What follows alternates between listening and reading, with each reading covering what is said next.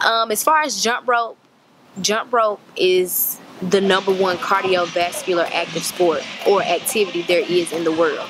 And girls at a very young age, they pick up very bad eating habits and et cetera, et cetera. So a part of the jump rope program, we also try to teach about nutrition as well.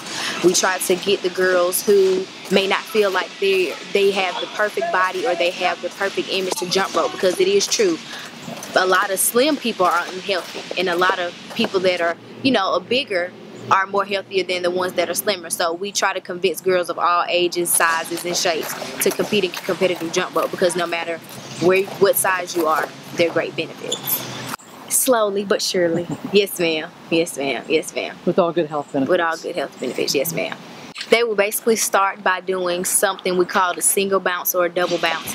And that's basically rotations, rotations, rotations So got to kind of get a rhythm because you have to have rhythm to jump rope. So once they kind of get that rhythm, they'll be able to advance their skills, and before you know it, they'll be able to do tricks and incorporate different parts of the body as well.